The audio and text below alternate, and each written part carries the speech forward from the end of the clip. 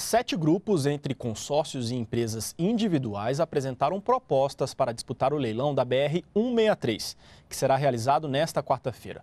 O leilão vai conceder a exploração durante 30 anos de um trecho de 850 quilômetros da rodovia que atravessa 19 municípios do estado do Mato Grosso.